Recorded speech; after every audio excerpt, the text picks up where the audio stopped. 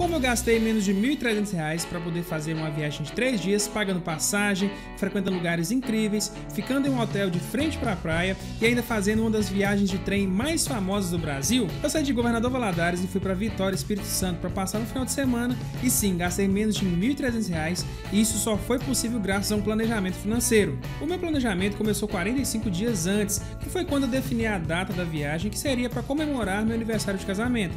Estipulei uma meta de gastos de R$ reais, podendo chegar no máximo a 1.300. Com esse valor em mente, eu defini a cidade e região que eu queria ficar.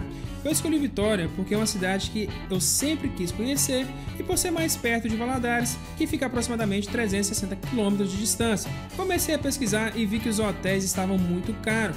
Foi então que eu recorri a um trunfo na manga, as milhas aéreas. Alguns dias antes da minha viagem, houve uma promoção de transferência de milhas aéreas da Azul para a rede Alacor, uma rede hoteleira que é composta por Ibis, Mercury, Softel, entre outros hotéis. Consegui trocar 22 mil pontos por 4 mil pontos ao Accor e somados aos 2 mil pontos que eu já possuía, eu consegui um desconto no Hotel Ibis de mais de 650 reais e acabei pagando apenas R$ 90,93 para entrar na sexta e sair no domingo em um hotel de frente para a praia. Depois disso foi a hora de definir como que eu iria chegar até lá. Eu estive pensando em ir de carro, mas eu queria fazer uma das viagens mais incríveis do Brasil, mais famosas, que é a viagem de trem, pelo trecho Vitória-Minas, que possui belíssimas paisagens. Então eu resolvi ir de ônibus e voltar de trem.